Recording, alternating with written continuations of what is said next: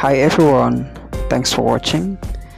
This month there are so many BL series and movies released that I can catch up with all the titles at the same times. But here are my 5 BL series that I'm currently watching. But before, make sure you already subscribe to my channel and turn on the notification so you won't miss any updates from me. Thank you. 5 BL series that I'm currently watching.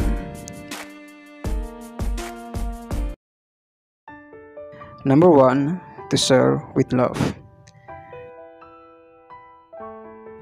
To be honest, I did not know this series until it accidentally appeared on my YouTube feed. I felt attracted and started watching it, and it turned out it was really, really good. Maybe because I'm also the type of person who loves about historical society, historical movie, and old story. But the series was beyond my expectation. The execution was exceptional and to be honest, this is my top BL series from Thailand in 2022. But it wasn't that popular, maybe because of the subtitle, but they're working on it. To Sir with Love airs every Monday and Thursday, and they will update the subtitle after the next episode was aired.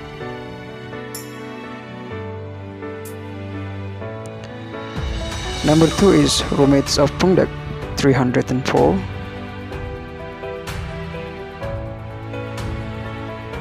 This comedy romance makes my day. I really love the couple, of course, because of their great chemistry. I've never disappointed in them since Kissable Lips. They're really a good match. Roommates of Poongduck 304 airs every Thursday. It has 8 episodes in total and premieres on Viki and GagaOOLala.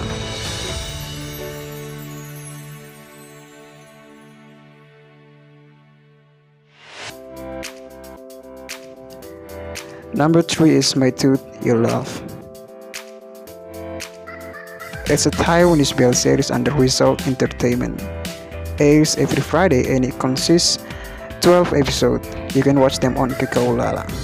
It tells a story of a dentist and his patient. So far, the series was worth watching, but there's some scenes I feel it's a little bit awkward. Maybe because this is their first acting, I don't know. But anyway, it's just the beginning. It's always like this. I'm eagerly waiting for the next episode this Friday.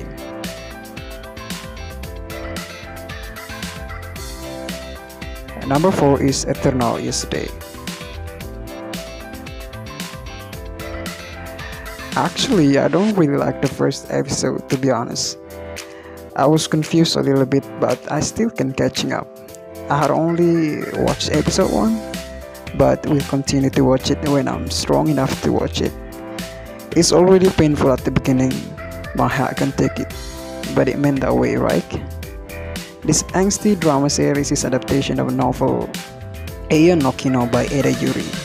Eternal Yesterday is a Japanese BL series airs every Friday, consists 8 episodes and premiere on Kakao and MBS Japan.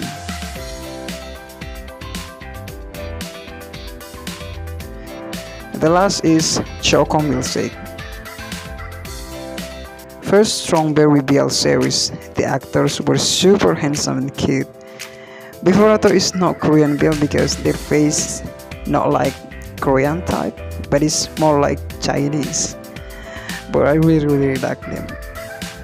It's also a comedy romance, consists with 10 episodes, aired on Tuesday and Thursday on Strawberry YouTube channel.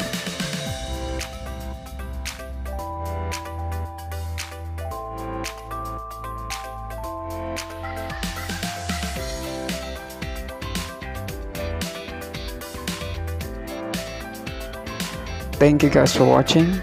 I'll see you next video.